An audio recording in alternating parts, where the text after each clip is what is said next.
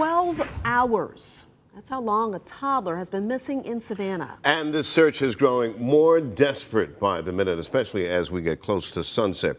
Our Kyra Naveau joins us live now from Buckhalter Road because, Kai, that is where the boy was last seen. Greg and Shannon. So the toddler was last seen around 6 this morning in his playpen. Quinton Simon is his name.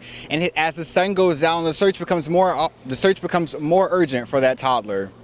By air and by ground, the search for 20-month-old Quinton Simon continues. The toddler was last seen around 6 a.m. Wednesday in his Buckhalter Road home.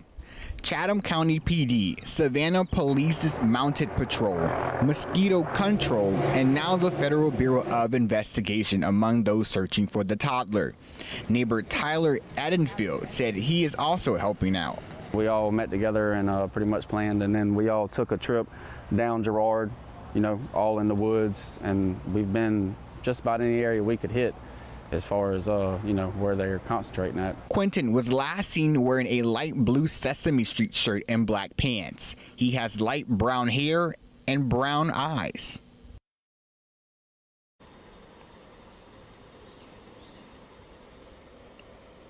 Yeah, so pretty much this road, entire Buckhalter Road, and roads around the area have been closed down for a big part of the day to continue to spread out the search to look for Quinton. They say if you know anything about where Quinton may see, or even if you have any idea, to call 911. Back to you.